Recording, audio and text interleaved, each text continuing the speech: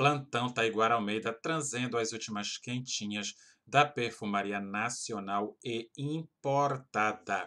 E nesse vídeo, gente, eu venho trazer quentinhas da dona Avon, porque tem muita gente aí que já deve estar, né, curiosíssimo com o novo lançamento da Luísa Brunet, que é o Luísa Brunet Intenso.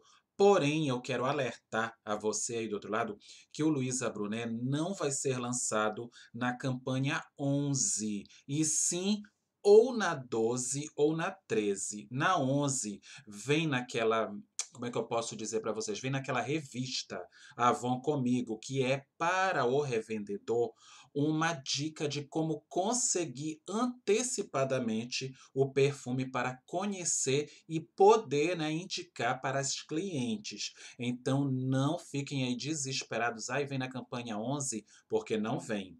Ele vai estar disponível na campanha 12 ou 13 e vai ser uma edição limitada. E o frasco dele é o frasco tradicional da linha, só que é todo negro e com as letras em dourado. Então, o Luísa Brunet Intenso vai estar disponível para venda e numa venda edição limitada na campanha 12 ou 13. Então, se vocês têm curiosidade de ter na coleção, querem muito, entre em contato com uma revendedora e consigam o seu edição limitada do Luísa Bruna Intenso. E antes de dar continuidade e falar as notas que vão compor esse perfume, eu peço encarecidamente que você, do outro lado, não esqueça de quê?